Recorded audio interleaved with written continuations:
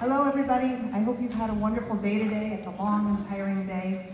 I hope all of you are going home with really nice memories. Uh, we are going to play for you Csárdás, which is by uh, Vittorio Monti.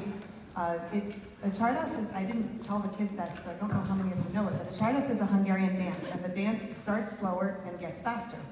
Um, and I don't believe that Monti was was Hungarian. I think more likely Italian, but it is fairly common for composers from another country to sort of imitate the style of other countries as sort of a way of interfacing with it and experimenting. So this is an arrangement that I wrote for the kids that they have put together in just an hour, which is pretty awesome, and I hope you really enjoy it.